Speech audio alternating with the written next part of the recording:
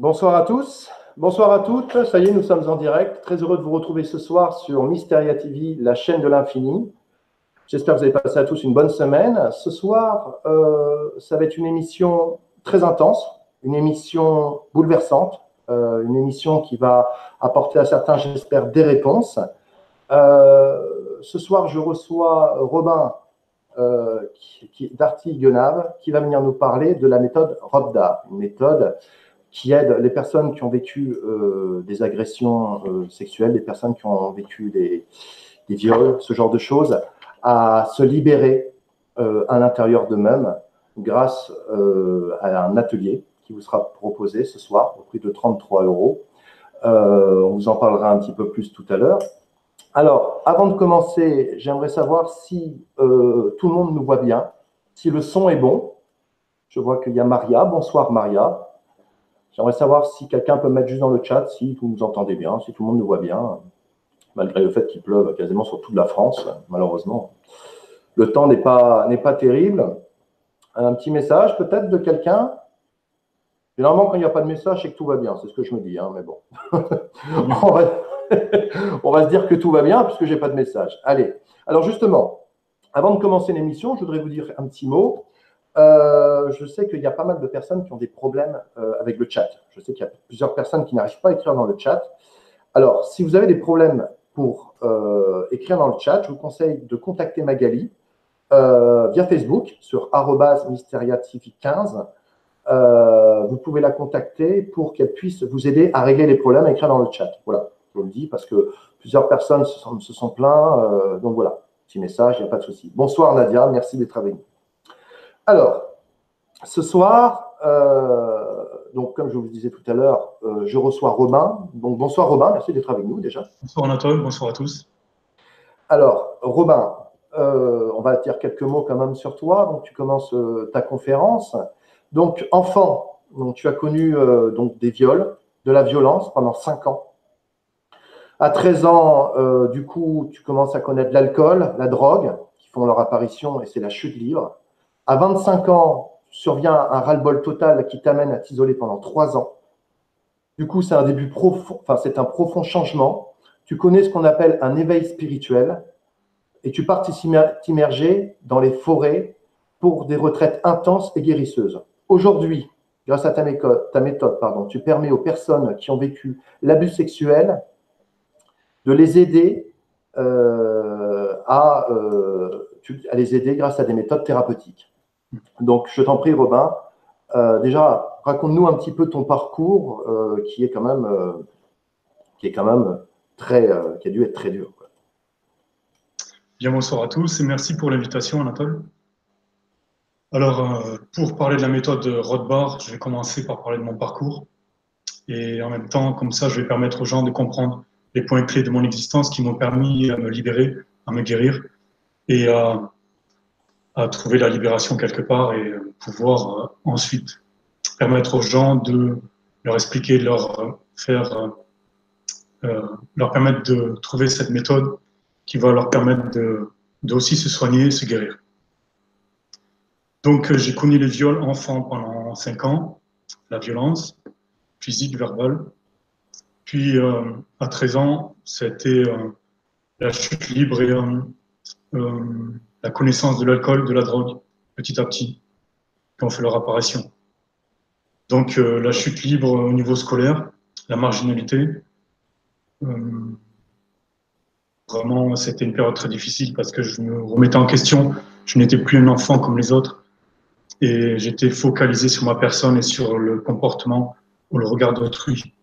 Donc, si vous voulez, il y a une autre conscience qui s'est manifestée et il y avait moins cette innocence d'enfant qui peut s'amuser ou trouver l'épanouissement dans les relations extérieures. Pour moi, l'école ne m'intéressait plus et j'avais d'autres préoccupations en tête, euh, d'ordre existentiel. Donc l'alcool, la drogue, de plus en plus, euh, ensuite, à 17 ans et demi, ce qui m'a permis de sortir de la délinquance, c'était de partir à l'armée.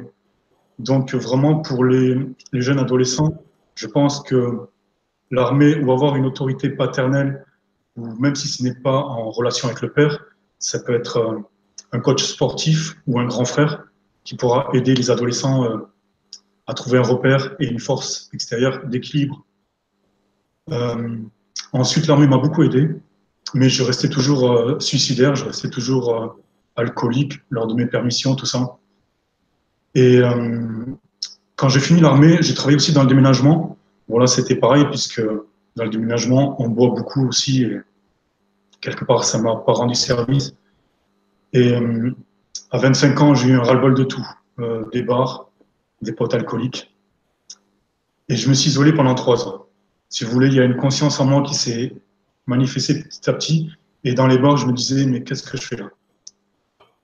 Donc, j'ai eu un ras-le-bol de tout et je me suis euh, isolé pendant trois ans. Je continue à boire, je continue à prendre de la drogue, mais il y a une conscience en moi qui s'est manifestée et j'ai commencé à écrire. Et je conseille aussi ça dans la méthode Rothbard, c'est que l'écriture est vraiment une bonne thérapie pour euh, l'introspection, euh, se découvrir soi-même.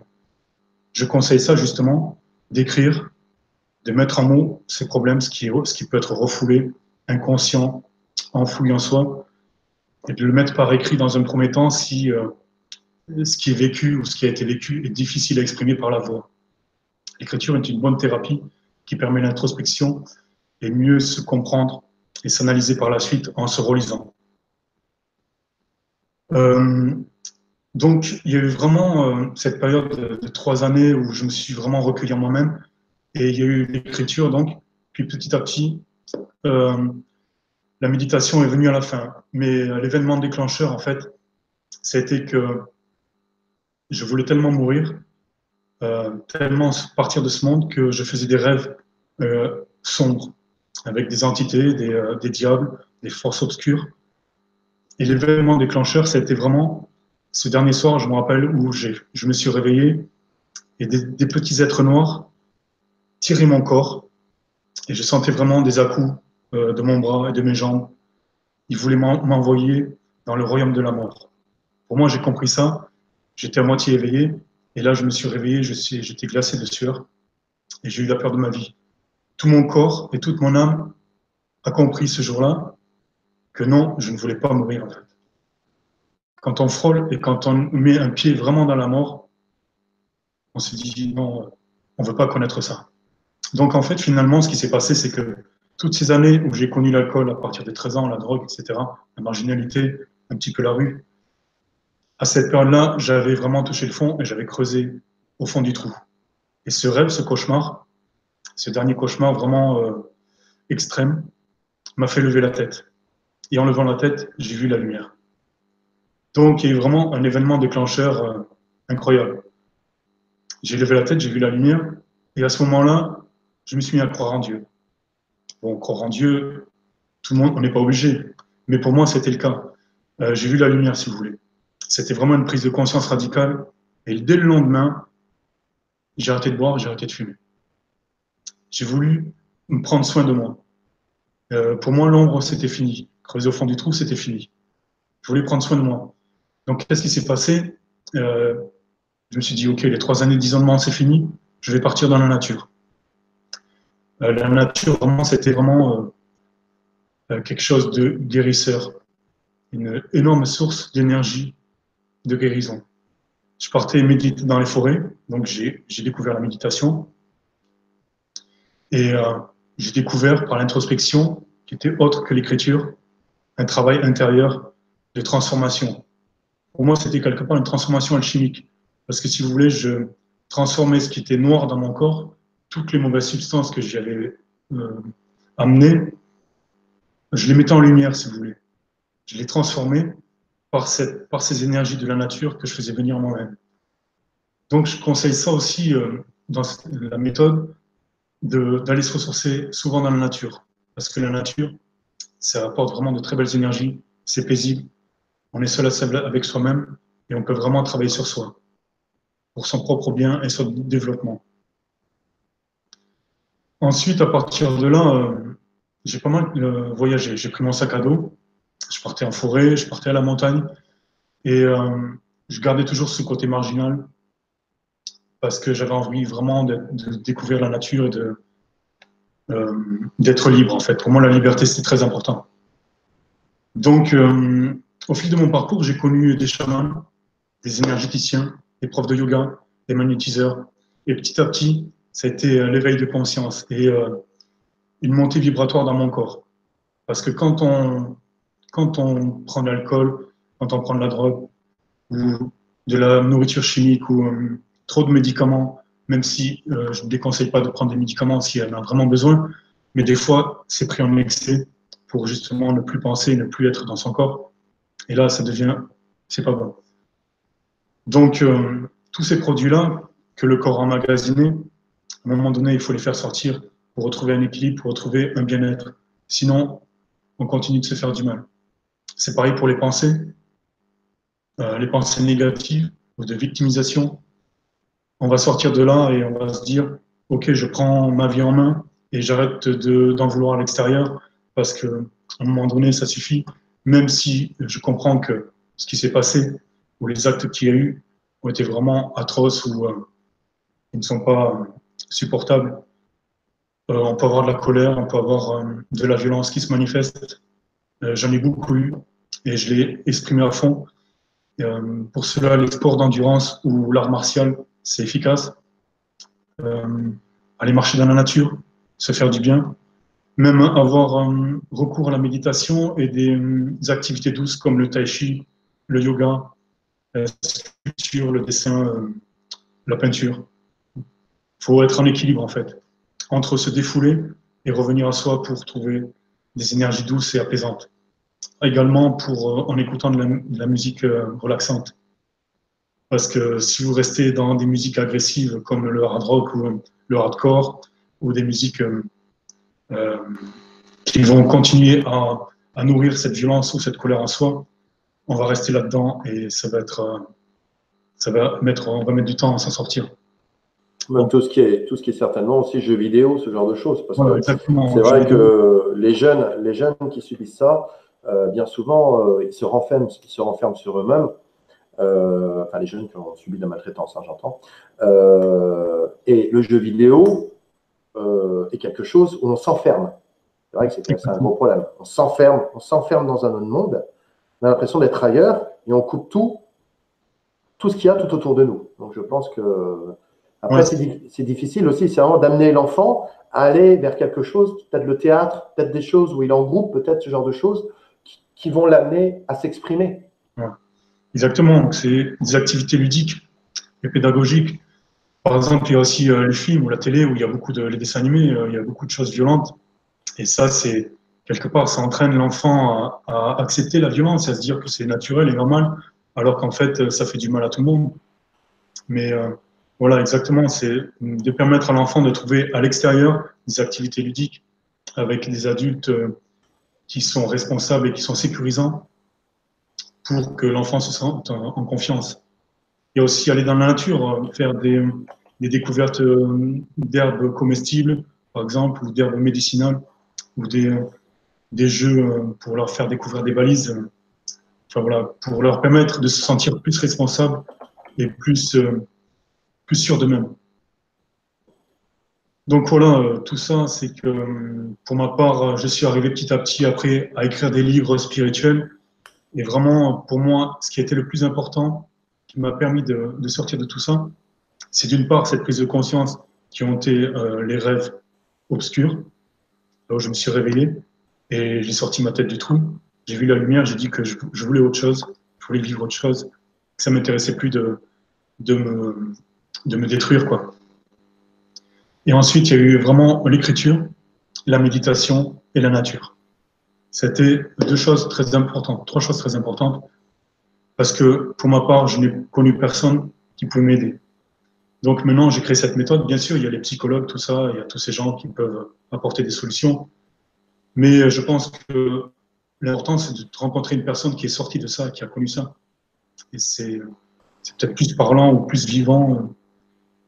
Voilà, parce qu'on pourra mieux expliquer ce qui se passe et comment mieux en sortir. Bah, C'est-à-dire que as surtout, il y a surtout quelque chose qui est formidable chez toi, c'est que tu es un homme qui a vécu des viols, qui a vécu ce genre de choses et qui a le courage d'en parler la plupart du temps, euh, bien souvent, on entend souvent, bon, par rapport au viol, c'est plus les femmes peut-être qui, ont plus le courage d'en parler.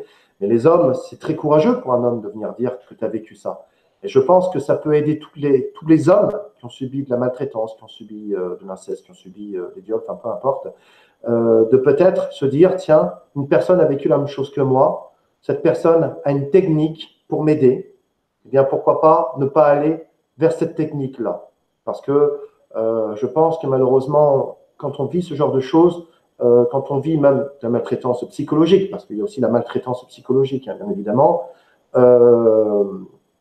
bien souvent, bon, moi je sais que euh, c'est vrai que des fois, on peut avoir un des parents qui nous aide, mais quand on est seul comme toi, tu as été seul, tu as réussi à t'en sortir tout seul, c'est admirable. C'est tout à fait admirable. Et c'est important, c'est important de le dire. Important de le dire. Exactement. En fait, il y a, y a, une force en soi qui permet de rester en vie. Moi, à chaque fois que je voulais me suicider, je sentais une force en moi qui m'empêchait. Et vraiment, j'ai ressenti ça euh, tout au long de ma vie. Quoi. Mais si tu veux, euh, j'ai eu beaucoup de mal à parler. J'ai eu un moment où je n'avais pas parlé. Je, je pouvais parler que quand j'étais ivre. Donc c'était vraiment très dur. J'ai mis beaucoup de temps et beaucoup d'années. Et finalement, on se rend compte que c'est ce qui nous fait le plus de mal, c'est avec quoi on a le plus de mal, nos propres faiblesses, qui vont devenir nos plus grandes forces. Pour moi, c'était, j'ai eu du mal à parler. Pour moi, c'était vraiment euh, ma voix. Et quand j'étais adolescent, je chopais plein d'angines. Donc il y avait vraiment un problème de communication. Et maintenant, pour moi, c'est ma voix qui, va, qui, m'aide et qui euh, permet aux gens de, euh, de mieux s'exprimer. C'est ça qui m'a permis, moi, de petit à petit, avec le temps, grâce à l'amour que je me suis porté, à la bienveillance, la compassion, etc., qui m'a permis petit à petit à me, à me libérer. Donc pour moi, la voix, j'ai mis beaucoup de temps à pouvoir m'exprimer par la voix. Maintenant que je suis coach ou thérapeute énergétique, j'ai souvent des gens par téléphone comme ça, et donc je suis obligé de leur parler. Et finalement, ça leur fait beaucoup de bien parce que à l'intérieur de ma voix, ils entendent ma vibration et euh, ce par quoi je suis passé. Donc, quelque part, ça les apaise puisque je les, avec mes énergies et avec de la douceur, je les amène petit à petit à rentrer en elles-mêmes et à s'accepter telles qu'elles sont et à voilà, avoir de la compassion pour elles, pour ce qu'elles ont vécu et surtout à mieux comprendre aussi l'événement parce qu'on a, une, on a un, regard vraiment négatif sur l'événement. On ne veut plus le voir et on le refoule. Parce que cette consommation de, de l'alcool, de la drogue, etc., c'est pour ne plus être avec la réalité, pour refouler tout ça et se dire, euh, ce monde-là, quelque part, il ne nous intéresse plus. On veut vivre autre chose dans un monde parallèle. Donc c'est extrêmement dur de revenir dans la réalité et tout d'abord, c'est de revenir en soi-même, revenir dans son corps et s'apporter du bien-être. Parce que quand on a beaucoup souffert pendant X années, au bout d'un moment, on n'en peut plus. Et le seul chemin, c'est de voir la lumière et de sortir de tout ça, de se prendre en main et de faire des choses, des activités pour, euh, pour voilà, s'apporter un développement personnel de la connaissance de soi, voilà, euh, commencer un travail intérieur. Tout à fait. C'est vrai que c'est vrai que c'est important. Euh, c'est important de sortir tout ça qui est à l'intérieur de nous, parce qu'après, ça a des répercussions euh, terribles sur la vie. Ça a des répercussions dans notre couple, c'est des répercussions sur notre travail, avec nos amis, avec tout. Et c'est se sortir tout ça. Mais ça demande du courage, parce que euh, quand on a vécu la maltraitance, on s'en rend déjà pas toujours compte. C'est vrai, on s'en rend pas toujours compte. à part si quelqu'un nous dit pas tu as vécu ça, on se rend pas forcément compte qu'on a vécu ça. Et c'est euh, et par la parole, par l'expression, par le théâtre, par euh, le coaching, par même le sport. Comme tu sais, tu parlais quand tu es rentré dans l'armée, le sport peut aider à sortir un truc, mais c'est pas suffisant. Et c'est vrai que grâce à la méthode de Robin, euh, cette méthode peut vous aider justement à sortir cet énorme poids que vous avez à l'intérieur de vous-même. Sortir un poids et, d'être libéré, d'être totalement libéré, de, de respirer et, et justement de vous dire, mais tout cet enfer que j'ai vécu pendant des années, grâce à Robin, ça peut partir. Ça peut, ça peut partir du moins, il va me soulager cet enfer-là. C'est ça que tu fais. C'est ça, c'est extraordinaire. Tout à fait, parce qu'il y a beaucoup de violence, il y a beaucoup de colère qui se manifeste et ça doit, ça doit sortir. Mais euh, je peux comprendre que la colère puisse être utile à un moment donné, puisque on refuse ou on va dire non. Justement, pour un enfant, c'est important de dire non et de s'affirmer, de pas garder le silence, de dire vraiment un non ferme et décisif. Euh, après, quand on est plus grand, aussi, bien sûr, euh, on a plus de facilité à dire non. Mais quand on est vraiment pris dans un acte comme ça, c'est que, voilà, il y a, y a, on est en colère contre la vie. Et euh, cette violence, justement, c'est, elle doit s'exprimer, mais elle doit aussi se comprendre à l'intérieur de soi, puisque tant qu'on est violent, tant qu'on est en colère, on se fait du mal à soi-même. C'est une énergie négative et ça fait du mal, ça compresse la matière dans son corps et on se sent pas bien après. Donc vraiment, il y a, il y a comme tu disais, euh, la pratique du sport, oui, c'est très important. Il y a les, sports d'endurance. Moi, j'ai pratiqué de la boxe aussi à un moment donné, mais je n'ai pas, envie de faire ça toute ma vie, puisque la boxe, quelque part, c'est aussi de la violence. Ok, on tape dans un sac, mais euh, à un moment donné, c'est bien de se défouler, mais après, plus tard, il faut comprendre et il faut apporter plus de douceur à sa vie. Comment tu peux faire pour euh, aider un enfant euh, comment faire pour aider un enfant qui subit euh, de la maltraitance, de l'inceste, ce genre de choses, par exemple Comment faire pour aider un enfant? Parce que euh, toi, en tant qu'enfant, quand tu vis quelque chose, pour toi, c'est normal. C'est ça qui est terrible. Ça devient une normalité. Tu te fais cogner, c'est une normalité. Tu te fais violer, c'est une normalité. Et comment faire, toi, par exemple, bon, généralement, c'est vrai que quand il y a des cas comme ça, tu le dénonces, tu vas le dénoncer aux services sociaux, ce genre de choses, mais bon, mettons, comment faire pour aider un enfant qui a subi ou alors qui a subi de la maltraitance, pour l'aider dans ce chemin-là Un enfant, il va se juger, il va avoir honte. Donc ça va être difficile à parler, mais on va le voir avec son comportement. Il va changer de comportement, ça ne va plus être le même. Il va être mal dans sa peau, etc. Ou il va se cacher, il va plus, avoir envie de parler. Et vraiment, c'est l'inviter à parler, à s'exprimer. Et s'il y a des difficultés vraiment à s'exprimer, euh, faire, je ne sais pas si vous avez vu l'émission Le Grand Frère, des fois, il y, a, des jeunes qui ont du mal à, exprimer leur mal-être, que ce soit envers un parent, envers le beau-père. Et c'est justement le mettre en situation de jeu par le sport, quelque chose qui va les faire sortir d'eux-mêmes, où ils vont être bousculés, mais bousculés d'une bonne façon. Euh, c'est-à-dire que ce qui va être, à un moment donné, ils vont vouloir parler, ils vont vouloir dire à l'éducateur ou au coach sportif ou aux parents qui est là, en qui ils ont confiance, d'accord, cette fois-ci, je sors ce que j'ai à dire, et euh, parce qu'il y a une personne rassurante avec lui. Donc, c'est vraiment important de l'inviter à parler, et de toute façon, ça se voit d'une manière ou d'une autre si l'enfant ne se sent pas bien dans sa peau. Après, c'est justement pour un enfant, c'est le sport qui va le mettre en confiance, et les activités ludiques et pédagogiques qui vont le mettre euh, dans une certaine responsabilité pour qu'il se sente plus grand, pour qu'il se sente en confiance en lui-même et qui, qui puisse enfin se libérer. C'est vrai qu'il y a quelque chose qui est terrible aussi, c'est que généralement les gens qui subissent, je parle notamment pour les femmes qui vont se faire violer, généralement, euh, généralement elles éprouvent de la culpabilité ou de la honte. C'est terrible parce qu'elles sont victimes, mais c'est elles quand même qui culpabilisent. Et souvent, j'ai connu moi des filles qui, qui, s'étaient fait violer et qui euh, n'en parlaient pas. Elles n'en parlent à personne parce que euh, c'est euh, voilà, c'est la honte, c'est la, peur de blesser, euh, c'est la peur de blesser les proches, c'est la peur de se dévoiler, ou même même des même des parents qui cautionnent, qui, qui savent qu'il y a eu un viol, mais qui ne veulent pas en parler, de peur que leur image soit euh, soit ternie par telle ou telle chose. c'est terrible ça. Oui, justement, il y, a, il y a les femmes qui vont après juger les hommes et qui vont les mettre tous dans un, dans un même sac. Il y a aussi deux cas de figure. Il y a les femmes qui vont refouler euh, la sexualité, qui vont plus en vouloir en entendre parler. Et il y a le contraire, il y a les femmes qui vont avoir une, une sexualité exacerbée, qui vont peut-être pas, par exemple, aller dans des clubs échangistes, etc., pour se salir davantage. Parce qu'elles estiment à partir de ce moment-là que leur sexualité est sale, elles sont impures, etc. Donc elles vont se juger. Et à partir de là, ça va être un cercle vicieux.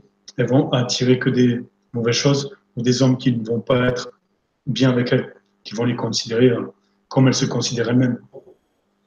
Tout ça, c'est un cercle vicieux. C'est, c'est la femme qui a perdu, euh, si vous voulez, euh, ses énergies sacrées ou ses énergies euh, pures. Donc, elle va employer sa sexualité d'une mauvaise façon qui n'est plus au service de l'amour. Tandis qu'une sexualité pure, c'est au service de l'amour. j'ai connu une femme qui avait été justement dans des clubs échangistes et ça a duré plusieurs années avec un homme justement qui, qui l'a amené là-dedans. Et au bout d'un moment, elle s'est dit, stop, j'en ai marre. J'en ai marre de me considérer comme ça, j'en ai marre d'être traité comme ça, et je veux passer à autre chose. Je veux qu'un homme m'aime vraiment pour ce que je suis et qu'il m'accepte comme je suis, qu'il accepte aussi mon passé. Et en fait, qu'est-ce qui s'est passé? Elle a attiré un moment. cet homme l'a respectée comme elle était et euh, elle lui a parlé de son passé. Il n'y avait pas de problème pour lui. Elle ne faisait plus ça. Donc, euh, pour lui, euh, c'était notre femme. Et ils ont vécu heureux. Ils ont vécu de bons moments. Donc, vraiment, c'est c'est une prise de conscience, en fait. C'est de passer de quelque chose où on va se juger, on va avoir honte de soi, culpabilité, à une meilleure estime de soi, plus de confiance. Et quelque part, c'est se développer, c'est passer d'un un autre niveau, autre. On devient une autre personne quelque part. Moi aussi, j'ai eu beaucoup de honte. Je me suis beaucoup culpabilisé. Euh, donc, euh, je buvais beaucoup parce que je voulais pas. Pour moi, la réalité, c'était très dur à vivre parce qu'il y a les viols qui durent une fois et les viols qui peuvent durer pendant des années. Après, je mets pas en. Pour moi, c'est toujours grave ce qui se passe. C'est que voilà, c'est un acte qui est vraiment euh, tragique et on met parfois beaucoup de temps à s'en sortir. Donc vraiment, il y a des méthodes, il y a des solutions et je peux proposer tout ça et des aides efficaces. Puisque moi-même, j'en suis sorti et je n'ai plus de problème avec tout ça, plus de problème pour en parler. Et j'en ai écrit dans ma, je peux euh, dire aussi que j'en ai écrit dans mon autobiographie initiatique, où je parle également du violeur et pourquoi le violeur en est amené à vivre, euh, à passer à l'acte. C'est parce qu'il condamne sa sexualité.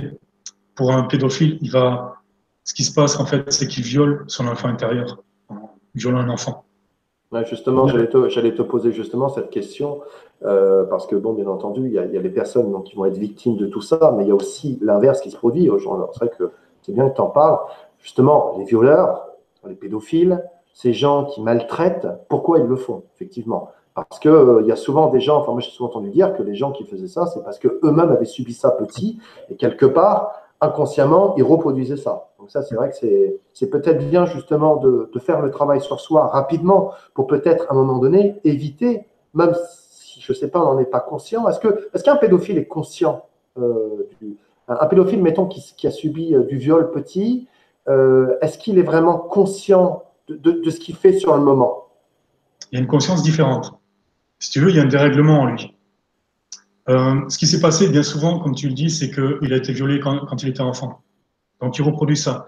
Mais euh, ce qu'il a vécu au cours de son processus d'évolution au, au, courant de sa vie, c'est qu'il y a eu un dérèglement en lui.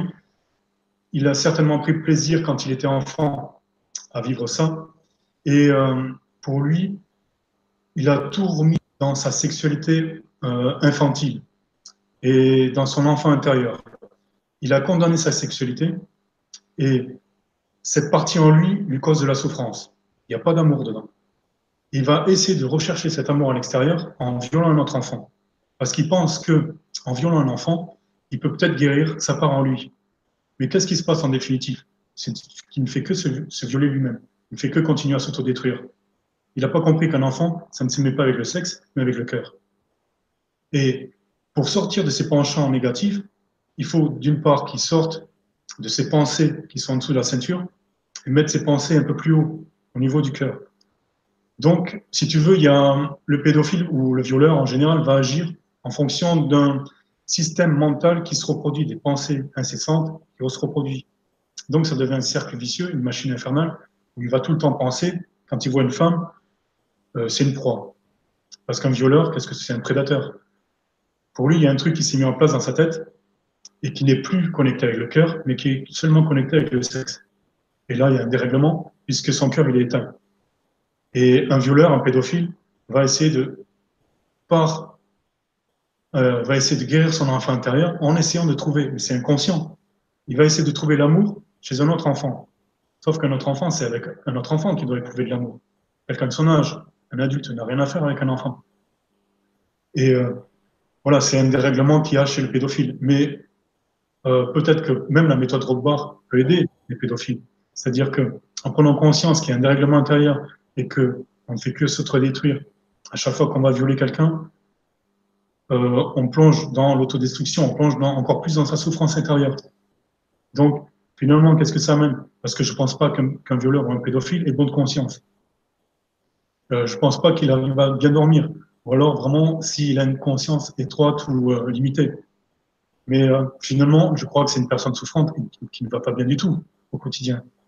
Donc, si elle a, envie de, de, sortir de ses problèmes, de sa souffrance, elle doit vraiment faire un travail sur soi et de sortir des pensées qui sont sous la ceinture. Elle se dit, OK, j'ai un problème avec ma sexualité, je dois amener mes pensées, mes croyances, mes envies, mes désirs, autre part, sur une autre source qui est plus bénéfique, qui apporte plus de bien-être et qui va ne faire du mal à personne, ni à soi, ni aux autres. Donc, écoutez plus le cœur, écoutez plus le corps et aussi l'âme, euh, son esprit. C'est-à-dire que euh, le pédophile qui va vouloir sortir de là et qui va comprendre qu'il ne fait que du mal à tout le monde, euh, il va essayer d'avoir des activités plus, plus lucratives et plus dans le bien-être, plus dans le développement personnel, plus dans oui, un travail sur soi, voilà, pour, pour essayer de se transformer. Parce que le travail sur soi, pour moi, c'est la méditation qui, qui m'a été vraiment très importante pour la transformation intérieure. La méditation peut être difficile au début parce qu'on peut être agité, etc. Mais euh, au bout d'un moment, c'est comme le tennis, c'est un exercice. Et au bout d'un moment, on comprend le travail que ça peut faire en soi. Et on trouve, tiens, on se dit, euh, ah, ça c'est vraiment important, c'est vraiment intéressant, puisqu'en méditation, je vais me connecter à moi, je vais me connecter dans le silence et dans le calme, avec ces parties en moi souffrantes.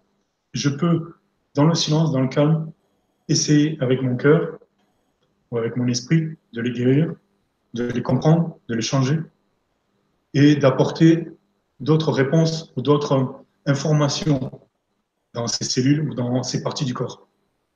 C'est-à-dire qu'un pédophile ou un violeur qui est euh, dirigé par son sexe, il va se dire, OK, euh, cette partie-là de chez moi, elle est inconsciente, je vais essayer d'y apporter de la conscience, de la lumière, et de la mettre au service de quelque chose de plus bénéfique, de plus harmonieux, et pour moi, qui est le cœur, qui est le cœur, qui est l'amour véritable. Parce qu'il n'y a aucun amour dans le viol, il n'y a aucun amour, euh, voilà, c'est contre nature, c'est contre amour, voilà, on ne fait que du mal à tout le monde. Tout à fait, c'est vrai. Qu'est-ce qui a été le plus difficile pour toi, la, maltraitance physique ou psychologique? Je pense que psychologique. Parce que si tu veux, euh, une personne qui va vivre le viol pendant plusieurs années, elle va arriver à se déconnecter de son corps. C'est ce qui se passe. Donc, il y a un côté qui, qui l'amène justement à un espèce de monde parallèle ou un monde astral. Et c'est justement ce qui va amener aux drogues, à la facilité à prendre ensuite les drogues et l'alcool, puisqu'on se déconnecte de son corps et on est plus présent avec ce qui se passe pour ne pour plus souffrir ou moins souffrir. Donc, euh, ce qui est le plus difficile, en fait, c'est le non-amour des personnes qui sont censées nous aimer, comme les parents ou la famille ou, ou un ami, parce que le violeur, ça peut être un ami qui, avec qui on avait confiance et qui finalement euh, s'avère que le soir, confiance, le soir, il nous met un médicament dans le verre. C'est vrai que je pense que, à la limite, euh, c'est vrai, bon, je pense que dans les deux cas, c'est terrible, mais euh, je pense que ça marque encore plus l'esprit quand c'est les parents quelqu'un de la famille proche qui subit, qui, qui a de l'inceste, parce que ça, euh, je pense qu'il y a une incompréhension totale. D'ailleurs, Maria te demande, est-ce que ça t'a aidé de savoir que ton âme avait choisi ses épreuves? Est-ce que quand tu découvert, quand as découvert que c'était peut-être un choix de l'âme, est-ce que ça t'a pas réconforté, mais euh, est-ce que ça t'a aidé? En fait, j'ai compris à mon éveil que tout était là pour une bonne raison et que tout, tout avait quelque chose de positif, même s'il y avait des, expériences très dures à vivre, il y avait toujours un petit quelque chose de positif à tirer de chaque expérience. Pour moi, en fait, euh, les viols, c'était vraiment de prendre conscience de la réalité et de m'éveiller au monde et euh, à des choses plus subtiles que si par exemple je n'avais pas vécu ça, euh, j'aurais peut-être eu une vie ordinaire, je serais passé à côté de l'essentiel. Je ne dis pas que c'est une expérience qui était peut-être nécessaire à vivre, mais on n'est pas obligé de passer par là. Mais pour moi, c'était. Après, je ne sais pas les lois ou pourquoi j'ai vécu ça étant enfant, puisque étant enfant, euh, au niveau du karma, quand j'étais enfant, je n'ai pas fait des choses pour, avoir ces expériences-là. Donc ça peut remonter à une ancienne vie. Ça, je, ne suis pas allé voir, mais euh, parce que la, réincarnation, c'est un autre sujet. Mais à partir de là, c'est que moi, je, ne regrette plus rien maintenant. Je regrette rien. Je suis passé par là, ça m'a appris euh, plein de choses. Ça m'a permis d'être ce que je suis aujourd'hui. Ça m'a permis de développer des talents, euh, beaucoup d'amour en fait envers moi-même et envers les autres. Euh, parce que des expériences très difficiles comme ça, au bout d'un moment, quand on a assez souffert, ça ouvre à, quelque chose de plus grand et à, à l'amour finalement, à, mieux aimer les autres. C'est comme une personne qui a connu euh, euh, la faim ou voilà, de, de, dormir dehors, la marginalité.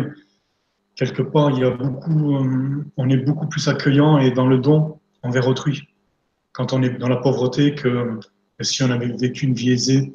Enfin, voilà, il y a je, comprends ce que tu veux dire. C'est vrai que quand, quand tu as vécu quelque chose de, de, de pas, de, oui, enfin de violent, de quelque chose de, de, profond à l'intérieur de toi, automatiquement, euh, tous les gens qui ont souffert sont amenés à un moment donné à se poser des questions.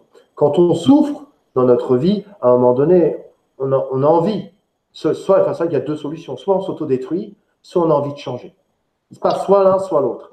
Mais euh, aujourd'hui, par rapport à ce que tu as vécu, euh, tu, dis que tu es dans l'amour, tout ça, ça, ça c'est vrai, mais est-ce que, par exemple, quand tu entends parler de, de viol, d'inceste, comment toi tu le ressens aujourd'hui? Tu, tu, Comment l'intérieur de toi tu le vis après, après toute cette expérience, après toutes ces années? Si je me mets dans ma partie sensible, émotionnelle, euh, je, suis pas dans la confusion, mais vraiment j'ai de la peine. Et euh, j'essaierai par tous les moyens d'aider un enfant ou d'aider un adolescent à s'en sortir. Après, si je me mets dans ma position euh, à l'intérieur de moi stable, où je suis, moi j'emploie une expression qui est ma mère calme et tranquille, ma mère calme et profonde qui est à l'intérieur de moi.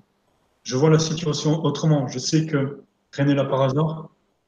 Ok, il y a des, des expériences très dures, mais je sais que si un enfant doit vivre ça et que je ne peux pas l'aider, qu'il est à l'autre bout de la planète, il y a tous les jours, il y a des milliers d'enfants qui vivent ça. On ne peut rien y faire. C'est tragique. C'est ce monde-là qui est comme il est. Mais quelque part, il y a vraiment une déviance. Et euh, c'est un monde duel, un monde 3D qui est difficile à vivre.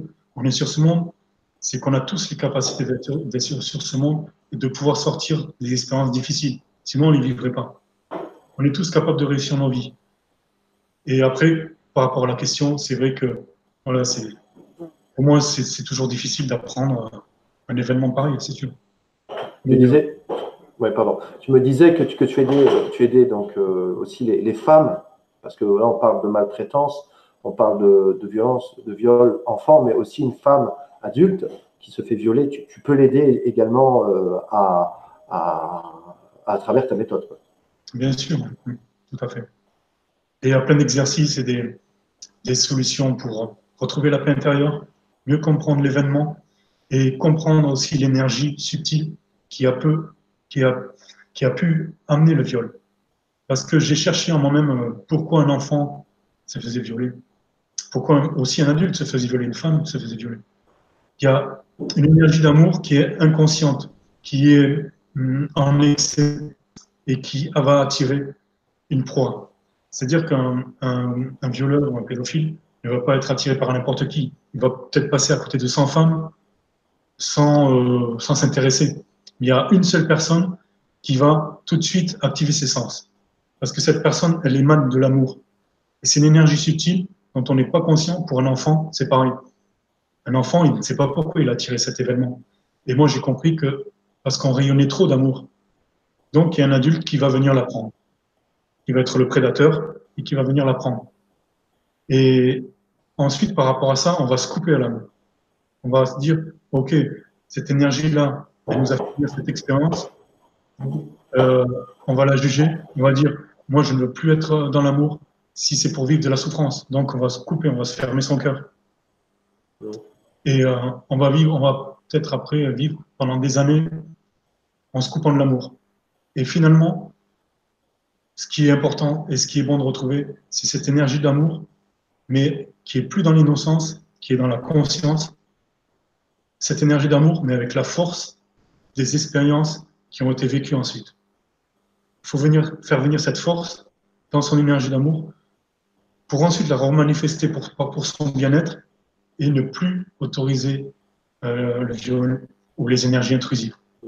Comment tu, comment tu fais pour aider par exemple une femme qui, qui va se faire violer et qui euh, va avoir de la part de sa famille euh, des, des, des, messages comme bah oui, mais enfin bon, tu as vu comment tu t'habilles, euh, tu as vu comment tu te comportes, non seulement elle se fait violer, et en plus, après, elle n'arrive, elle n'a aucun soutien, parce que ça, ça arrive malheureusement. Hein. Euh, voilà, donc toi, comment tu vas faire pour aider une personne qui va se faire violer et qui, en plus de ça, va, n'avoir aucune aide de, ses amis, de ses proches qui vont encore plus la rejeter? C'est difficile. C'est difficile d'être rejeté, et surtout de sa propre famille. Je conseille à cette personne de prendre du recul, du détachement, et de pas être dans l'émotionnel, de pas culpabiliser, de ne pas se juger, de pas prendre en compte les pensées ou les mots négatifs de ses parents, de sa famille, parce que tout ce qui n'est pas en amour n'est pas vrai. Toutes les pensées négatives, tout ce qui n'est pas en amour n'est pas vrai. C'est-à-dire que quand quelque chose, quand un mot ou une pensée fait perdre les énergies au corps, c'est que c'est pas dans la vie. C'est que c'est, on ne doit pas en prendre compte. Même si c'est sa propre famille, on se dit, d'accord, ils sont dans leur souffrance s'ils parlent comme ça. C'est que quelque part, en eux-mêmes, ils ont une partie qui souffre. Et ne pas rentrer dans l'état de victime, ne pas se dire, ils ont raison et c'est ma faute. Non. S'ils parlent mal, s'ils ont des pensées négatives de non-amour, c'est parce qu'ils sont souffrants. Donc, je conseille à cette personne de dire, de laisser ses parents où ils sont, de dire, d'accord, je prends sur moi, je travaille moi-même, je me prends en main, je me responsabilise et je vais faire un travail sur moi. Je vais faire des activités qui vont me faire du bien. Parce que si j'attends de l'extérieur, je peux attendre toute ma vie. Mais si je commence maintenant mon travail, je commence maintenant et c'est un pas, une marche après marche. Et je sens les changements bénéfiques jour après jour. Si vous faites des euh, activités qui vous font du bien, euh, vous sentez les bénéfices quasiment le jour même. Si par exemple, un, matin vous vous levez, vous ne vous sentez pas bien et vous commencez à vous juger, vous rétablissez vos pensées, vous dites non, je ne dois pas penser comme ça, je dois arrêter de me faire du mal et je dois tout de suite penser positif et me lever d'un bon pied et faire une activité qui me fait du bien. Même si c'est au travail, par exemple, des, pensées, euh, des gens n'ont pas le temps de penser à leur travail parce qu'il y a beaucoup de choses à faire, elles peuvent, à l'intérieur d'elles-mêmes, respirer profondément et utiliser la sophrologie au travail. Même en, traitant des dossiers, etc., on peut travailler avec sa respiration et apporter du bien-être à son corps en respirant calmement et en détendant son corps et en apaisant son mental. Le mental qui travaille avec les pensées négatives. On va apaiser tout ça et faire en sorte de souffler, prendre du recul. On accepte la vie, on accueille ce qui se passe. D'accord, c'est pas toujours terrible, mais on va accueillir d'une autre façon, avec bienveillance, pour soi-même, parce que c'est soi-même qui compte. On, est là maintenant dans son corps. On ne peut pas sortir de son corps indéfiniment par des trucs qui ne font pas du bien. Donc, inévitablement, un bon jour, on va essayer de travailler sur soi. Il y a, euh, Manon qui dit euh, Je suis resté à peu près 11 ans sans parler à qui que ce soit. Je le considérais comme mon père, cet homme, et je ne disais rien à personne par peur de ne pas être cru, vu que nous étions très proches. Donc, je pense qu'elle doit parler justement de, de, maltraitance ou, viol ou je ne sais pas, mais euh, donc c'est ce que tu dis, c'est ce que tu disais tout à l'heure de vraiment quand, quand, quand on subit ce genre de choses, de ne pas rester enfermé, tout de suite d'essayer de, de, même si les, même si les proches ne, ne nous croient pas, d'essayer de faire des choses qui, qui, nous animent, que, que, nous aimons pour, pour pas, pour pas sombrer en fait. Excuse-moi, j'ai pas bien compris la fin de la question de. Ah pardon. Alors je, je disais, euh, que je disais, euh, je suis, Manon qui dit, je suis resté à peu près 11 ans sans en parler à qui que ce soit. Je le considérais comme mon père, cet homme, et je ne disais rien par peur de ne pas être cru, vu que nous étions très proches. D'accord, hmm, je comprends tout à fait. En fait, inévitablement, quelque part, il y a une modification en soi-même qui change. On n'est plus la même personne du jour au lendemain. Moi, quand ça s'est produit, le lendemain, j'ai regardé cette personne pendant plusieurs heures je me disais, mais qui est cet homme? Pourquoi m'avait fait ça? Et ensuite, des questions existentielles sur la vie. Voilà. Donc, moi aussi, j'ai passé beaucoup de temps sans parler de tout ça, euh, une dizaine d'années, je pense aussi. Et euh, pour moi, l'événement déclencheur, en fait, c'était l'écriture. Je suis arrivé à parler, mais sur des mots. Sur du papier, j'écrivais sur un blog. Et ça m'a permis, euh, petit à petit, avec l'introspection, de mieux me comprendre moi-même. Euh, je suis, conscient et je peux comprendre tout à fait qu'il y a des personnes qui ne peuvent pas nous croire. Euh, j'ai connu une femme aussi, sa mère ne, la croyait pas. Elle disait qu'elle avait été violée, etc. Elle ne voulait pas la croire. Pour elle, c'était pas possible. Et euh, il y a des personnes qui considèrent ça tabou dans une famille, qui ne veulent pas en entendre parler, même si c'est la vérité. Elles se le cachent. Elles se disent, c'est pas possible, on n'en entend pas parler dans la famille, ça n'existe pas, on n'en veut pas. Donc, il y a un rejet. Et c'est, je ne sais pas pourquoi les gens ne veulent pas en parler dans la famille, mais euh, au niveau de la personne qui vit ça, c'est vrai qu'il y a des difficultés. Sûrement, sûrement je pense qu'il y a beaucoup aussi, selon les familles, selon l'éducation, une honte. Une honte, on ne voudrait pas être jugé par telle ou telle personne. D'ailleurs, euh, est-ce que si, par exemple, dans une famille, il va y avoir un viol, que la chose n'est pas réglée, on dit souvent que ce sont des choses qui se répercutent de génération en génération. Tout à fait. Exactement. Il y a des familles qui, qui font ça de grand-père en grand-père, de génération en génération. Et c'est, euh, moi, je dis dans mon autobiographie que toute personne a le pouvoir de stopper le karma pédophile de sa propre famille.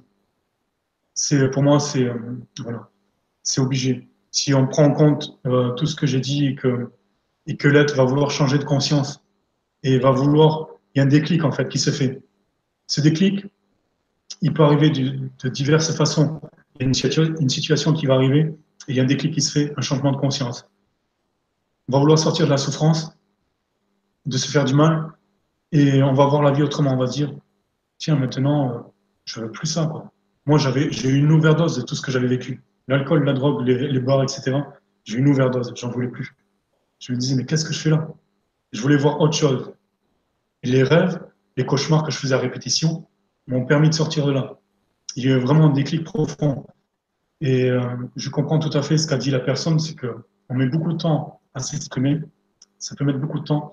Et je conseille en fait, pour sortir le plus vite de la souffrance, le plus vite possible, d'en parler le plus vite possible. Ça peut être à un ami, un proche, à quelqu'un de la famille, mais ça peut être aussi un thérapeute que vous allez choisir. Un thérapeute de l'extérieur que vous ne connaissez pas, en qui vous allez mettre votre confiance et vous allez vous dire si par votre intuition, si c'est la bonne personne avec qui parler et euh, exprimer votre mal-être. Parce que c'est vraiment très important de se libérer et c'est ce qui va permettre le commencement de la libération. Plus vous allez attendre et plus vous allez faire ça en vous et plus la souffrance va s'accumuler. Un enfant maltraité continue à aimer ses parents malgré la maltraitance, d'où la difficulté de couper le lien avec ses relations toxiques.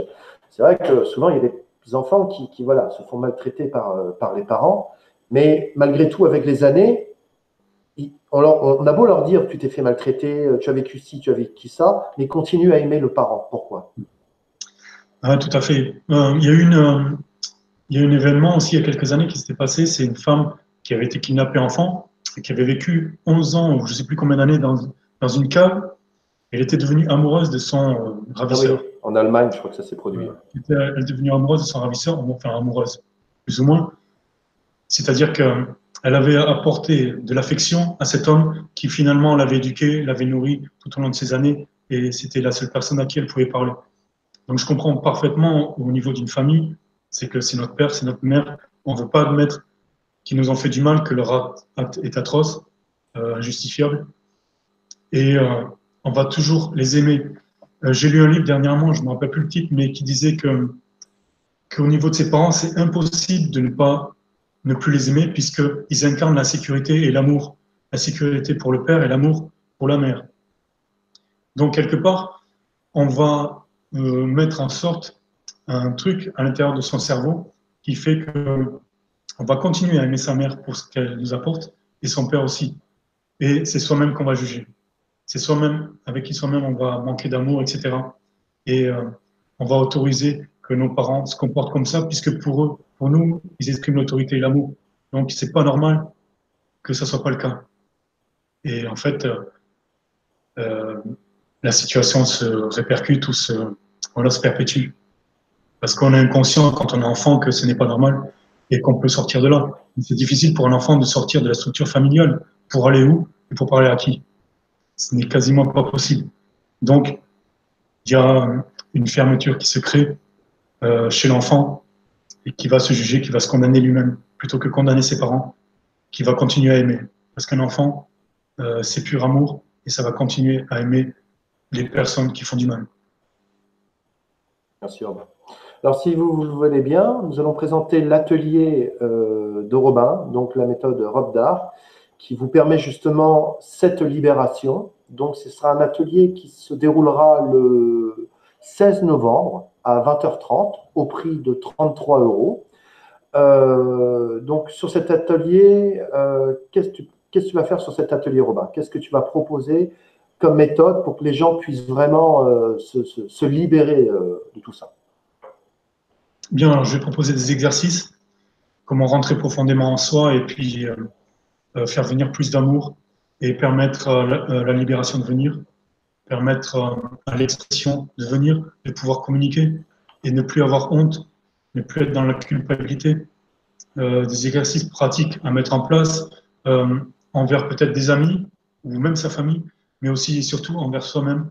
C'est-à-dire qu'on va prendre du temps pour soi, pour se ressourcer et pour euh, travailler en soi-même, s'apporter de l'amour à la partie souffrante en nous et inévitablement à sa partie sexuelle qui a le plus souffert de tout ça et aussi travailler avec le cœur. Et je proposerai également une méditation pour clôturer tout ça. Plus des questions-réponses, bien sûr. Très bien. Et c'est vrai que c'est très important, je pense, ce que tu dis. Euh, enfin, moi, en tous les cas, je, vraiment, je pense que c'est vraiment d'essayer de se déculpabiliser de ce qu'on a vécu. Parce que c'est vrai que quand on subit, bon, il y, a la maltraitance euh, physique, il y a aussi la maltraitance psychologique. Et c'est vrai que psychologique, comme tu dis, physique, il y a un moment donné, moi j'avais des copains qui, leur père les cognaient dessus quand ils étaient jeunes. Ils me disaient à un moment donné, tu, tu décroches, quoi. Et à un moment donné, tu sens plus les coups. Par contre, le psychologique, ça fait des ravages pendant des années. Ça fait des ravages. C'est vrai que si on règle pas le problème, ça va faire des ravages dans nos choix de vie. Ça fait des ravages que ça soit dans la famille, que ça soit dans notre vie de couple, que ça soit avec nos enfants. Et ça fait des ravages qui, qui sont terribles. Et c'est vrai que le plus tôt possible, on déculpabilise on, prend le petit enfant intérieur qui est, qui est en nous, on le prend dans ses bras et on se pardonne à nous-mêmes, plus vite on va pouvoir régler ça. Tout à fait, oui. Parce que plus on va avoir des pensées négatives, moins on va s'aimer, etc., plus on va tirer de mauvaises choses et des mauvaises personnes également. Donc c'est justement se déculpabiliser, euh, c'est très important parce que on est victime de rien, ce n'est pas notre faute. C'est euh, le problème vient de la personne qui est déviante, qui a commis un acte voilà, irrépressible, c'est euh, voilà, plutôt à la personne et à sa conscience de faire un travail sur elle-même. Mais aussi, bon, bien sûr, il faut vraiment rentrer en soi et faire notre travail en nous aussi pour, euh, pour s'apporter du bien-être et de l'amour. C'est vrai qu'aujourd'hui, il y a beaucoup plus, malheureusement, de, de cas. Il y a énormément de cas d'inceste dans les familles, énormément de maltraitance, énormément de viols. C'est malheureusement en constante évolution. Pourquoi d'ailleurs, Robin? Pourquoi il y a, il y a, beaucoup plus aujourd'hui tout ça. Alors peut-être que ça a toujours existé et qu'il n'y a que maintenant qu'on en parle. Ça a toujours existé, mais euh, si tu veux, les médias font en sorte qu'on en entend beaucoup plus parler. Mais il y a aussi euh, un événement euh, ces dernières années, c'est que la pornographie est de plus en plus libérée. On voit de plus en plus des images, même pour les jeunes enfants, qui sont directement liées à la sexualité. il y a un problème.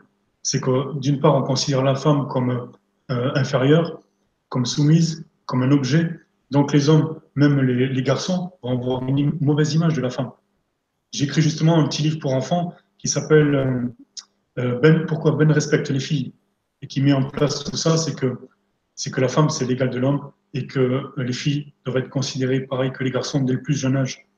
Même dans la société, on voit très bien qu'une femme est inférieure à l'homme, que ce soit au niveau du travail, dans le salaire, etc et euh, même encore au niveau des religions. Enfin voilà.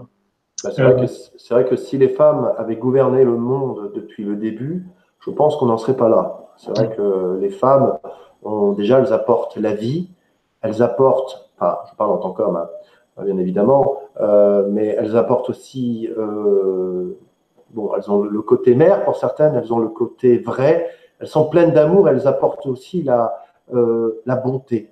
Hein. Je crois que ça apporte ça. Une femme, vraiment, que ce soit une mère, que ce soit une femme, même ça peut être une amie, elle apporte la bonté, elle apporte la bienveillance. Alors que nous, les hommes, on a un petit peu toujours ce côté macho, ce côté un petit peu, on veut faire le, on veut faire le bonhomme, on veut faire le mec. Et c'est vrai que euh, quand on apprend à, travers l'amour d'une femme à, se lâcher, à se, à se, à se, comment dire, se lâcher, à se confier, on, voit qu'une femme peut apporter énormément, énormément de choses. D'ailleurs, c'est pour ça que j'ai toujours pensé, euh, tu dis que la femme est égale à l'homme. Moi, je trouve que la femme a beaucoup de choses à apporter, énormément de choses. Et malheureusement, dans nos sociétés aujourd'hui, on casse aujourd'hui un petit peu tout ça, bien qu'aujourd'hui, bon, de plus en plus, on, voit que la société essaye de faire en sorte que ça soit d'égal, mais malheureusement, euh, un enfant, Robin, un enfant voilà, qui, subit, qui subit la maltraitance, euh, tu dis qu'il y a un changement de comportement. Est-ce que tu penses que, par exemple, des activités comme un enfant qui subi de la maltraitance, comme le théâtre, ça peut être une bonne chose? Tout à fait. Le théâtre, très bien pour l'expression, la communication, et ça permet de se libérer plus facilement. Exactement, le théâtre mis en jeu, ou même, euh, même des jeux pour enfants, oui, tout à fait, où il y a où l'enfant, on permet à l'enfant de communiquer, communiquer avec des, adultes, c'est important. Le théâtre, très bonne activité, je conseille.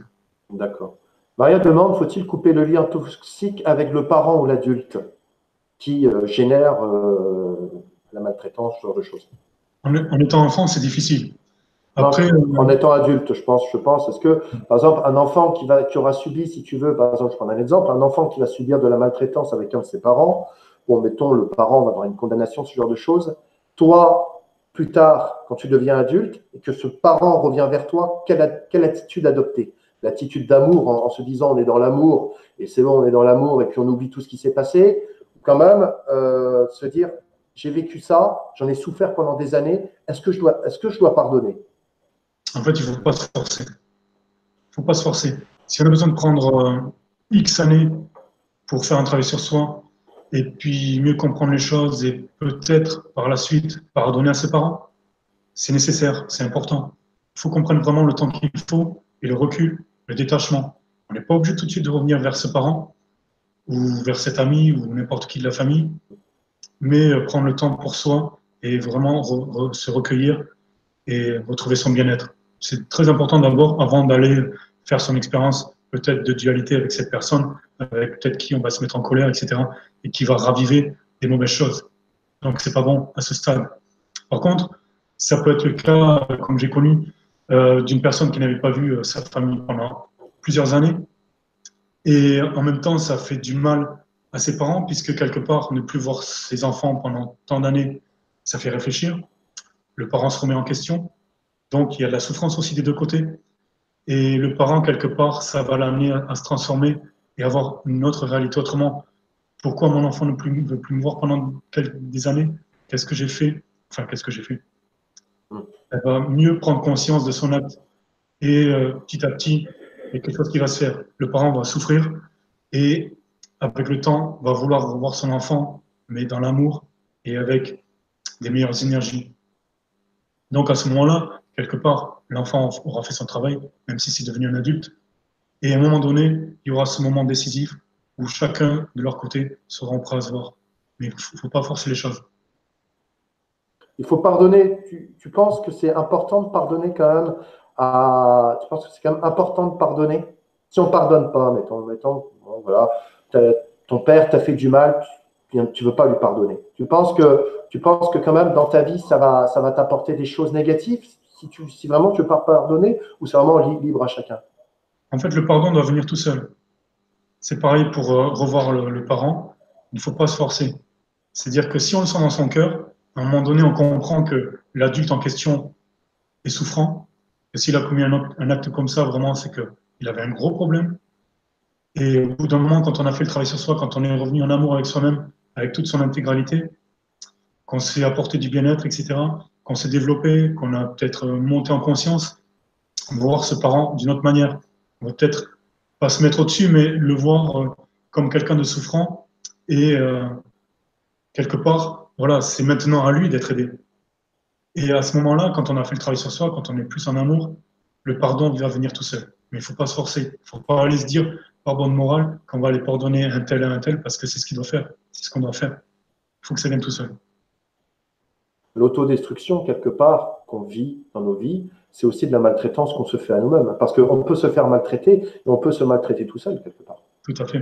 C'est vrai qu'on est, on est, quand tu vois toutes les personnes qui, boivent, toutes les personnes qui fument, qui se droguent, euh, bon, je, je, critique pas. Moi, j'ai fumé pendant 17 ans. Euh, j'ai fumé pendant 17 ans et encore aujourd'hui, je me pose la question pourquoi j'ai fumé? Donc, je sais que on allume des cigarettes, on sait même pas, on sait même plus pourquoi on fait ça. On, ne sait même plus pourquoi on le fait, mais on le fait. On le fait. Voilà, c'est plus fort que nous. Voilà, donc je, comprends tout à fait, hein, mais euh, quelque part, c'est de la maltraitance, c'est de l'autodestruction aussi. Oui, on perpétue sa souffrance. Et ça vient systématiquement, ça vient, tu penses systématiquement de, l'enfance, de ce qu'on a vécu dans l'enfance? Oui, ça peut être aussi à l'âge adulte. Une femme qui va se faire violer, elle peut se mettre à bord du jour au lendemain. Ou même si son mari, ça peut arriver même à, leur mari, qui euh, à un moment donné, elle se sent pas rendu compte, mais il va devenir violent et il va se mettre à vouloir la dominer ou à, vouloir la prendre de force, etc. Mais voilà, c'est et la femme va petit à petit se mettre à boire ou à, prendre des médicaments en excès, euh, etc. Donc euh, voilà, c'est vraiment. Euh, Toi, tu es vraiment là, si tu veux, tu es vraiment une personne bon, qui, a, une expérience déjà très solide là-dedans et qui, vraiment peut aider n'importe. Tu peux vraiment aider une personne qui a, subi ça. C'est vrai que je tiens à le préciser. Hein. Robin est vraiment là si vous avez vraiment subi des, des, violences, si vous avez subi des, des viols, ce genre.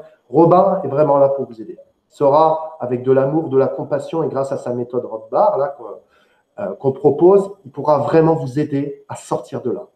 Mathie te demande si la personne ne change pas, est-ce qu'il faut pardonner? C'est vraiment si la personne refuse d'admettre euh, qu'il y a eu de la maltraitance, qu'il y a eu, est-ce qu'il faut pardonner ou pas?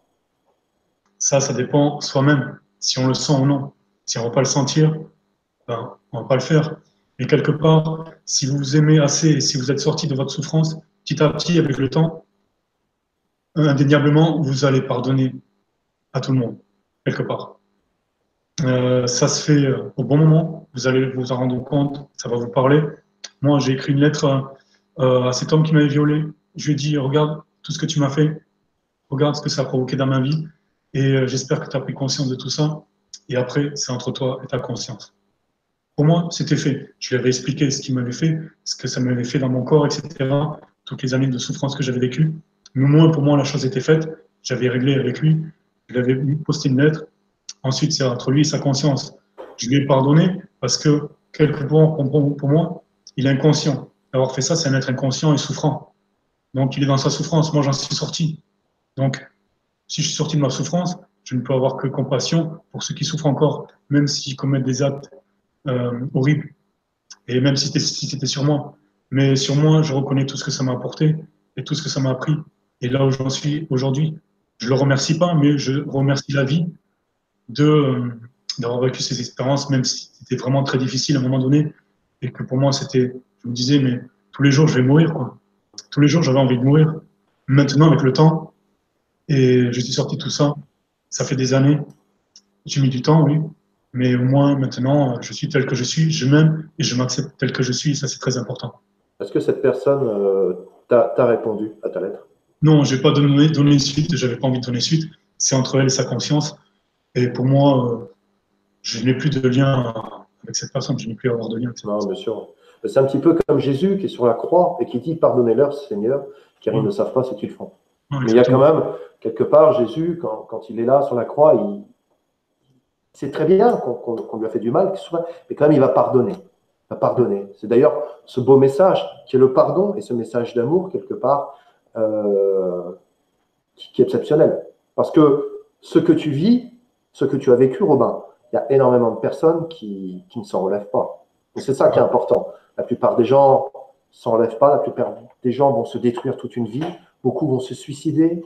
Et je pense que c'est important des témoignages comme celui de Robin ce soir, parce que ça peut vraiment aider au plus profond de vous à vous libérer. Parce que la vie, elle peut être très belle, tu en, en parlais aussi tout à l'heure. On disait la vie, ça peut être un enfer aussi. On en parlait avant, avant de lancer l'émission. On disait qu'effectivement, la vie, ça peut être un enfer, mais la vie, la vie peut être un paradis. quelque part, c'est à nous d'essayer soit de trouver, soit de se diriger vers cet enfer, ou soit de se diriger vers ce paradis. Et quelque part, il y a des gens qui sont exceptionnels, comme toi, Robin, et qui peuvent justement, grâce à des méthodes, grâce à, des exercices, nous aider à aller vers ce paradis.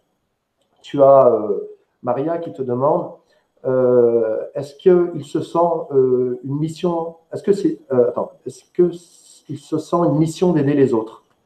Que pour toi, c'est une mission véritablement d'aider les autres En fait, c'est naturel. Je ne considère pas que j'ai une mission particulière, dans le sens où euh, si je me fais du bien, j'aime faire du bien aux autres. Pour moi, c'est la même chose. Si je fais du bien aux autres, ça me fait du bien à moi-même. Euh, pareil pour aider. Quand je vais aider une personne dans la rue à traverser ou à porter ses courses, ça lui fait du bien, mais ça me fait du bien à moi aussi, parce qu'elle aura un regard gentil, un, un, remerciement. Et euh, je ne fais pas ça pour, euh, pour me flatter, mais c'est-à-dire que quand on va aider les autres, ça nous fait du bien inévitablement. Donc, euh... Manon te demande comment avez-vous réussi à faire le deuil de tout cela? Par le travail intérieur. Euh, la méditation, beaucoup de méditation. J'ai passé beaucoup de temps dans la nature à méditer, euh, à faire des campements. J'ai fait des retraites de des quinzaines de jours, souvent, plusieurs fois par an. Et j'avais besoin de me ressourcer dans la nature. Vraiment, les personnes qui ont connu des traumatismes comme ça, la nature, c'est un puissant allié. La nature, les, pardon, les animaux aussi. Est-ce que les animaux peuvent aider? Les animaux. Si vous avez un chien euh, euh, qui est votre fidèle compagnon, il sera toujours là pour vous. Il sera toujours là à votre côté. Et lui, euh, vous n'avez rien besoin de craindre, de lui. Il sera toujours là à vous apporter de l'amour. Donc ça, ça aide. C'est très, très, très beau ce que tu dis. C'est vrai que la nature apporte beaucoup de choses. Moi, tout à l'heure, je, suis allé chercher ma fille qui était chez ma tante et je, je me suis perdu en voiture. J'ai un bon sens de l'orientation, mais ce coup-ci, je me suis paumé. Et on s'est retrouvé avec mon fils en voiture, il pleuvait. Euh, en Bretagne, il pleut tout le temps, malheureusement, mais il pleuvait. On s'est retrouvé dans un bois en voiture et c'était magnifique. C'était magnifique. Et je me disais au fond de moi-même, qu'est-ce que c'est beau la nature. Il y a quelque chose d'apaisant, il y a quelque chose de calme, il y a quelque chose qui attire de plus en plus. Et de plus en plus de gens, on est tous attirés par la campagne. Parce que à la campagne, il y a une vie qui est, calme. On est proche, on est proche, euh, on est proche de la nature, on est proche des animaux, on est proche de toutes ces vibrations qui nous amènent énormément de bien. Oui, dans la nature, il y a les énergies pures. Il y a les vibrations et la présence. Moi, quand je passe plusieurs jours de suite dans, la forêt, ça remonte mes énergies, ça fait un nettoyage dans le corps. Et on se sent vraiment bien en connexion avec la nature. Il y a aussi la présence. Euh, quand vous regardez un arbre, vous pouvez vous mettre dans la présence avec lui. C'est-à-dire qu'il va vous apporter euh, la vibration de la vie. Euh, le prendre dans ses bras ou méditer au pied d'un arbre, c'est tout de suite, ça va nous rebooster, nous apporter des bonnes énergies. Et vraiment, la nature, c'est une puissante euh, guérisseuse. Tout à fait. Il y a, on me demande comment parler à un enfant de son parent qui l'a maltraité. Que lui dire? Que son parent a un problème, que c'est qu'il est souffrant, que s'il a commis un acte comme ça, c'est qu'il n'était pas dans la conscience, que malheureusement c'est son parent, et il est difficile de ne pas l'aimer, mais que L'enfant doit apprendre à dire non fermement. C'est son corps. Personne ne doit toucher son corps. il doit être maître de son corps. Et euh, un parent ne doit pas avoir des, gestes déplacés ou des caresses déplacées. Voilà, l'enfant doit vraiment apprendre à s'affirmer et euh, d'essayer de voir. C'est sûr que pour un parent, je pense que si le, viol a été dénoncé, on va le séparer de son parent. Mais euh, il peut le voir avec le temps euh, d'une façon plus aimante, même si l'amour n'est pas parti, mais d'une façon différente. C'est-à-dire qu'il a commis un acte comme ça, c'est qu'il a un problème. Et s'il a un problème, c'est qu'il a une souffrance en lui. On va peut-être essayer de l'aider, mais l'aider d'une bonne façon, c'est-à-dire que on va essayer de lui faire comprendre et de prendre, faire prendre conscience de son acte, que ça fait souffrir, que ça crée de la destruction, et que s'il continue, les êtres ils vont souffrir beaucoup pendant plusieurs années et que voilà, qu'il ne doit pas reproduire ça. Il doit vraiment faire un travail sur lui-même. L'enfant, finalement, l'enfant devient le parent du parent, quelque part. Et, et un enfant peut changer les choses. Comment tu penses qu'il faut faire pour. Parce que c'est vrai qu'aujourd'hui, si tu veux, à travers les films, à travers les séries, il y a des séries à succès, là, euh, j'en connais quelques-unes, comme Game of Thrones ou comme, euh, comme des, séries où on voit l'inceste et le viol d'une manière où ça semble tout à fait normal. Ça devient normal, c'est-à-dire qu'on voit des films où de plus en plus, on voit des scènes de viol où ça semble normal, où c'est, voilà, c'est, comment faire pour que les jeunes, les jeunes hommes ou les, jeunes adolescents euh, leur montrer le danger à tout ça. Parce qu'aujourd'hui, comme tu l'as dit tout à l'heure, c'est vrai que les jeunes, ils ont accès aux jeux vidéo, ils ont accès à la pornographie, ils ont accès à la violence. à énormément de violence. Autrefois, on n'avait pas accès à tout ça. Moi, petit, euh, quand il y avait de la violence, mes, parents me cachaient, les mains pour pas que je vois ça. Mais aujourd'hui, on, va laisser facilement un enfant de 9-10 ans regarder des, séries qui sont pour des personnes de 18 ans.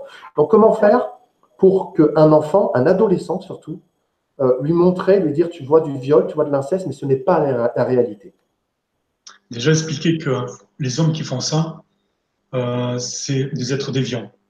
ils prennent soumission par, domination par rapport à la femme mais en fait, qu'est-ce qui se passe? On peut leur faire comprendre le sens des énergies. C'est-à-dire que à l'intérieur de notre corps, on a des énergies féminines et masculines. Des énergies de douceur, des énergies d'amour, des énergies masculines pour employer la force, etc., quand il y a besoin, ou euh, la stabilité, même la sagesse, parfois la fermeté pour un enfant, tout ça. Mais euh, l'autorité.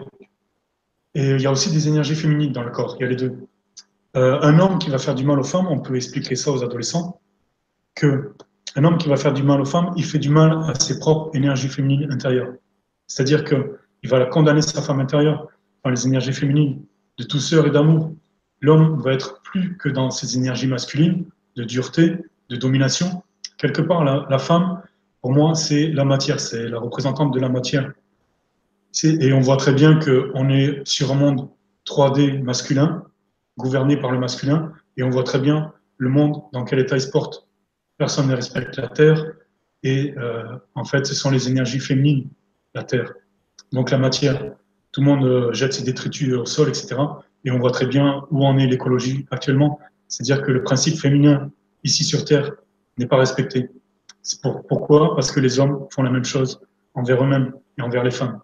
Tant qu'ils feront ça, ils s'autodétruiront. Pourquoi ils s'autodétruisent? Parce qu'ils font la même chose dans leur propre corps. Ils détruisent leur part féminine on peut faire comprendre ça à un adolescent assez facilement, euh, c'est-à-dire que lui faire comprendre euh, les énergies, que tout est énergie quelque part, que la matière est énergie. Quand ils font du mal aux femmes, ils font du mal dans leur propre corps et ils créent de la souffrance. Et en faisant ça, ils perpétuent ce monde de souffrance. Donc, ils perpétuent euh, le malheur et, et, le fait que, que les femmes sont, sont, vont être souffrantes. Quoi.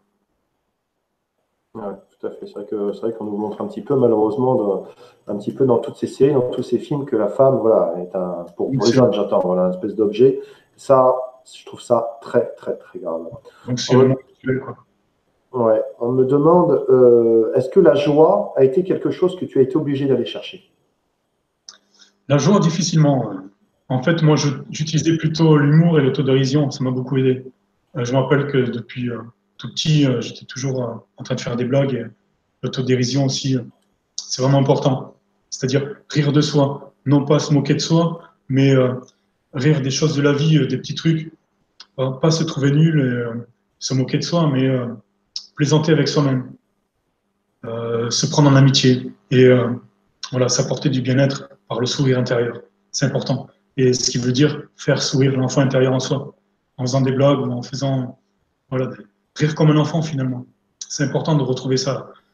Euh, finalement, oui, c'est la joie d'enfant, quelque part. C'est vrai que c'est vrai que l'humour sauve beaucoup. L'humour sauve beaucoup. L'humour, euh, j'en parlais justement euh, à la dernière conférence sur le, avec Christophe qui est chaman. On disait effectivement que l'humour, ça a un pouvoir qui est extraordinaire. Et vraiment, pour toutes les personnes qui ne rigolent pas souvent, je vous invite à L'humour, vous pouvez le trouver de mille manières. Ça peut être une blague, ça peut être un comique que vous aimez, ça peut être. Mais de, de vous rapprocher le plus possible de gens qui ont, qui ont de l'humour et qui sont joyeux. Exactement. Parce que ça va vous amener à vous ouvrir à autre chose. Et l'humour, c'est la joie, c'est le rire. Bon, moi, c'est vrai que je suis une personne, j'ai fait du théâtre pendant des années. Euh, et c'est vrai que l'humour, moi, c'est ma raison, ma raison d'exister. Ouais, c'est bien tout de suite, on va sortir de ces pensées négatives et euh, ça va amener à voir les choses autrement ça, ça c'est quelque chose qui est, vraiment fabuleuse. fabuleuse. Euh, est-ce que l'alimentation t'a aidé à retrouver un équilibre? Bien sûr. Euh, au début, euh, je pense comme tout le monde, je mangeais pas mal de, enfin, de produits pas terribles avec des trucs chimiques dedans, le McDo, etc. après, quand on prend conscience de certaines choses et quand on va faire un travail sur soi avec le développement intérieur, personnel, obligatoirement, on va prendre en compte l'alimentation et Et plus vous allez manger lourd, euh, des pizzas, etc., des sandwichs à longueur de journée ou des, glaces, plus vous allez vous sentir lourd et, mal dans votre peau et vous n'avez rien envie de faire. Aujourd'hui, il y a beaucoup de sucreries qui sont dans les marchés. Et la sucrerie, vraiment, c'est, ça amène de l'agitation et ça amène de la lourdeur. On n'a plus rien envie de faire.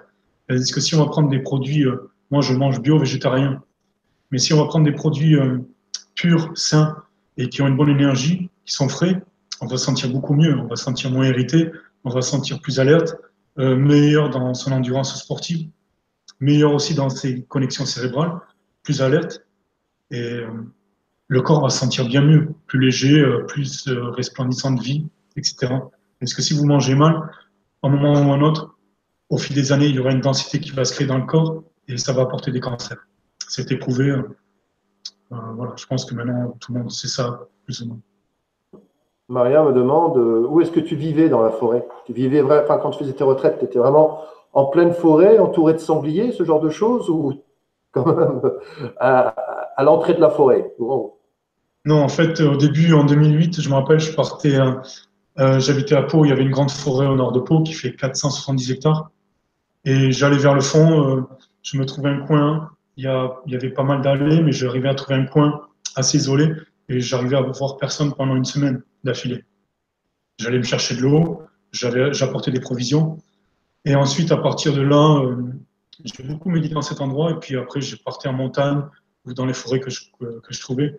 Quand je prenais un sac à dos et que je voyageais pas mal, que ce soit de, des Pyrénées jusqu'à la Méditerranée, je trouvais sur mon parcours des, forêts. Et puis, euh, voilà, j'allais m'immerger vraiment à l'intérieur des forêts, je voyais personne. Et c'était l'immersion complète. Il n'y a pas une certaine peur comme, comme ça Tu te retrouves en pleine nuit, en pleine forêt, dans le noir. Euh, y a pas. Comment on se sent? Parce que c'est vrai qu'on n'a pas l'habitude. C'est-à-dire la première fois, tu te retrouves en, forêt en pleine nuit. Tu y viens pour faire la méditation, pour te ressourcer. C'est vraiment. Qu'est-ce qu'on ressent? Je comprends pour une femme, ce soit difficile parce qu'aller dans une forêt la nuit, surtout pour une femme qui a, connu un viol, je pense que c'est impossible. Il faut y aller avec un ami de confiance. Et euh, peut-être pratiquer le silence pour mieux être en connexion avec soi-même, la méditation. Euh, si tu veux me rappeler ta question juste avant. Non, je, disais, je te disais comment. Euh, oui, ma, question, c'est vrai que ce serait plutôt ça. Euh, effectivement, qu'est-ce que tu conseilles aux gens qui veulent vivre comme ils ont fait toi dans une forêt, se ressourcer dans une forêt? Tu conseilles plutôt pour un homme vraiment de s'isoler pendant une semaine comme tu l'as fait, vraiment se couper du monde et méditer? Et pour une femme aller se promener? Ou est-ce que tu penses qu'une femme peut aussi euh, faire ce que tu as fait pendant une semaine vraiment euh, Parce qu'on voit des gens en Himalaya, je veux dire, qui se, pendant trois mois, qui sont dans des grottes, qui font une méditation, qui font un chemin sur eux. Euh, je, l'ai lu. Donc, qu'est-ce que tu conseilles vraiment aux gens pour véritablement se, se déconnecter de tout et se retrouver seul avec soi-même? Moi, je sais qu'au bout de trois jours, il y a le mental qui se calme complètement. Il y a les pensées qui, s'en vont, etc. On rentre plus en connexion avec son corps, avec les énergies de la nature. Et c'est là que le travail véritable peut commencer à se faire. On n'est plus qu'un avec la nature. Je conseille trois jours déjà, c'est déjà pas mal pour, un début. Après, si on se sent bien, si on a trouvé un bon coin paisible, on peut continuer plus. Euh, pour une femme, je conseillerais plutôt, si elle est toute seule, dans, un endroit où il y a du monde, par exemple, où il y a des joggeurs, où il y a des gens qui se promènent, et de se trouver un arbre euh, un peu à côté, où elle voit quand même du monde de loin, de son regard, et elle va méditer au pied de cet arbre tout en restant avec les mais elle va profiter des énergies de la nature. Et euh, il y a de plus en plus de gens qui vont méditer. Il n'y a aucun problème à méditer en, euh, entouré de gens. Ou un peu à l'écart, Pour un homme, c'est plus facile parce qu'un homme, il y, a, moins de problèmes. En fait, au début, il n'y a pas. Moi, la première nuit que je passe en forêt, je ne dors pas. Euh, pas à cause de la peur, mais parce que je suis dans un nouvel endroit et je suis attentif au bruit qui se passe. Après, petit à petit, on commence à se poser, à se calmer. Et puis, c'est normal. Une forêt, la nuit, il y a des bruits. Il y a beaucoup plus de bruit que le jour, que ce soit des craquements euh, de petits mammifères ou euh, des oiseaux dans les arbres, des oiseaux nature. Ouais, je pense que c'est vrai que s'il y a un sanglier qui est à côté de la tente, je pense qu'il doit avoir un petit stress à un moment donné. Moi, j'ai eu une fois, euh, je pense que c'était, je pense que c'était une biche, mais elle est arrivée en courant. je pense que c'était, j'étais sur son passage et toute les nuit, elle passait à côté de ma tente. La première nuit, elle est passée en courant, donc ça m'a fait bizarre. Vers 11h30, euh, la deuxième nuit, elle a commencé à ralentir. Et puis la troisième nuit, elle a, elle a senti un petit peu autour. Donc je me suis imaginé à ses sabots que c'était une biche. Parce qu'un sanglier, il va faire vraiment des bruits de cochon avec son, son groin et vous allez tout de suite comprendre que c'est un sanglier parce que ça passe pas inaperçu et vous l'entendez. Tandis qu'une biche, c'est plus furtif et euh, ça s'entend qu'avec ses sabots. Qu'est-ce que tu. oui, pardon, excuse-moi. Non, je pense qu'il n'y a pas à avoir peur dans une forêt quand on est en confiance et quand on sait que la nature nous veut que du bien. Mm, tout à fait, c'est vrai. vrai. Qu'est-ce que tu ressentais quand tu étais seul dans la forêt? Un profond bien-être, une profonde libération. Et euh, pour moi, c'est l'endroit où je me sens le mieux. Parce qu'on est avec les énergies pures, il n'y a rien qui est dénaturé, il n'y a rien qui est transformé, il n'y a pas des, euh, des énergies négatives. Euh, voilà, moi, je me coupe de tout, de mon téléphone, je n'ai pas de, de Wi-Fi, je ne prends pas Internet, etc.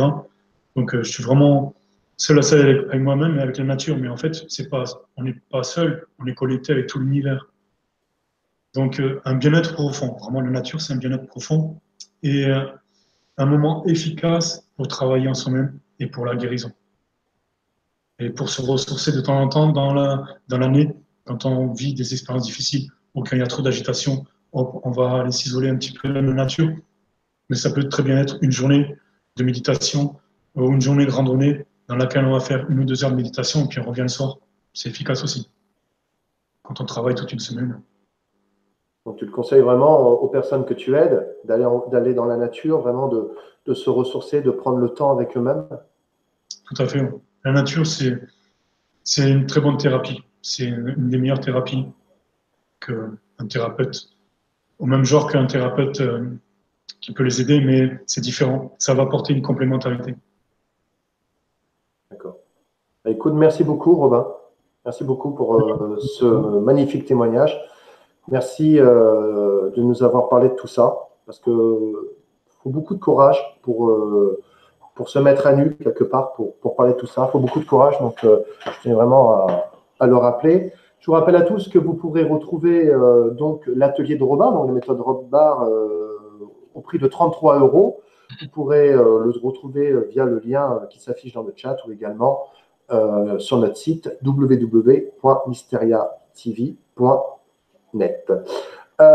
également, si vous voulez vous abonner à notre chaîne, vous pouvez le faire en faisant juste un clic sur le carré rouge là, qui s'affiche normalement sur votre droite pour être au courant, pour voir nos prochaines vidéos.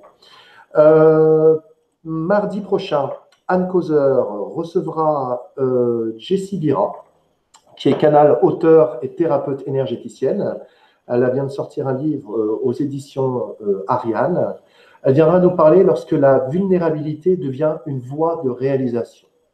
Je vous souhaite à tous une très bonne semaine. Merci beaucoup Robin. Merci à tous de nous avoir suivis. Merci à tous. Voilà, et je vous dis à tous, je vous souhaite à tous une très bonne semaine. J'espère qu'elle sera ensoleillée, parce que là, on aurait eu un week-end quand même qui est quand même pas terrible. Hein. faut dire ce qui Voilà, merci de votre fidélité et je vous dis pour ma part à jeudi prochain avec Kevin Meunier. À très bientôt. Au revoir à tous. Bonne soirée.